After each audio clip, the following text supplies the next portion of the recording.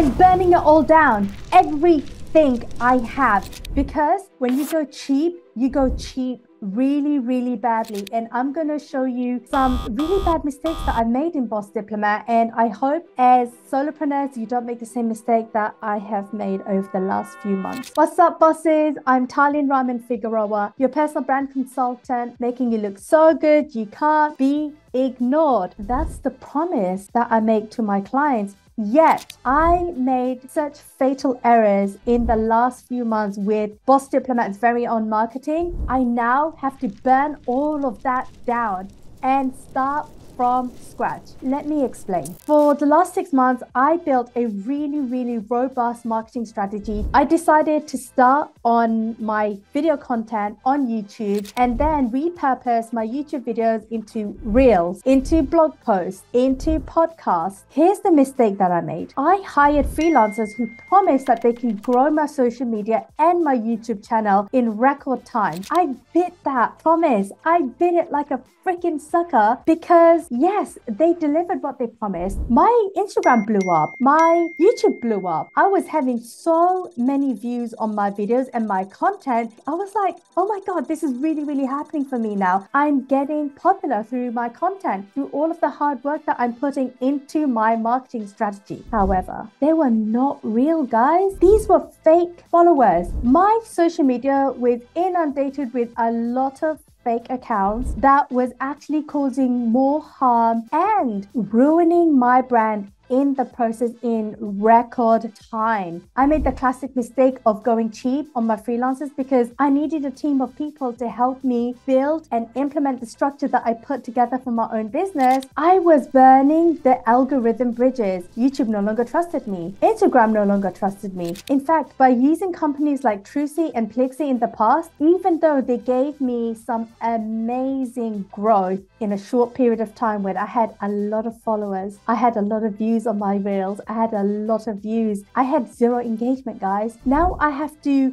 very painstakingly remove these fake followers and all of a sudden you're going to see this massive drop on followers on my Instagram because half of them weren't real anyway. So all of the work that my team and I are putting into real social media engagement, following real people and commenting legitimate things on these people's profiles is going to take twice as long now for my Instagram to grow and any of my content to actually do the heavy lifting when it comes to booking leads because I went cheap. I hired a YouTube growth strategist who promised to use white hat techniques to grow my YouTube channel, no fake accounts, no fake followers, and really sticking by YouTube rulebook so that I can start getting better followers into my YouTube channel. In two weeks, I was having similar results. You know, all of a sudden, from only having 25 views on my videos, I was getting three, 400, and this is only for two videos that I gave them a trial run on. So when I went into the analytics and checked out where this audience was coming from, the majority of this audience was coming from India. My clients are based in the United States. If they were real real, the majority of my followers and viewership will be coming from the country that I'm actually currently residing in. And guess what? When I called them out on it, I heard crickets. Three weeks later, I got a massive WhatsApp chat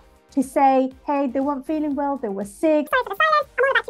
But that line of communication and that trust was broken when you did not respond to my concerns. Who got hurt by this? I did. I got hurt by this entire process, even though I trusted them based on the evidence that they gave me that they were not using black hat tricks to get viewership on my YouTube channel.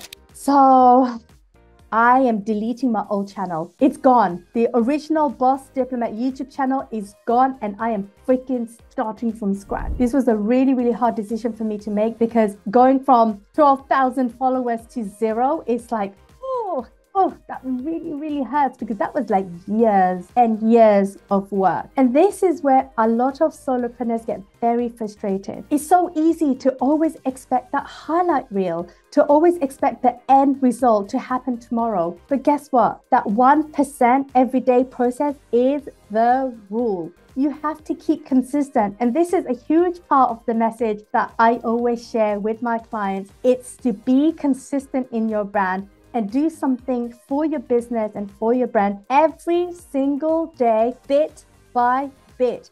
And this is how you grow a legitimate brand. This is how you grow and evolve as a solopreneur, as a business owner, and someone who has actually invested very carefully in their personal brand. And if anyone tells you that they are going to get you a lot of results in a very short amount of time, guys, red flags. Don't listen to them. And I hate to break this to you, but your brand may not pick up in the next two years. It may take six years, it may take 10 years, but you've got to stick at it. And this is why I always ensure that my clients have lead products that will then translate into full price services they are offering to their clients that brings in money and cash into the business right now so that you don't actually have to wait 10 years from now to get to your big audacious goals. If you want me to review your social media and your website so that you can legitimately grow your business in the right way, hey, why don't you have a free mini brand session with me, Talyn? Put some Talyn time on your calendar.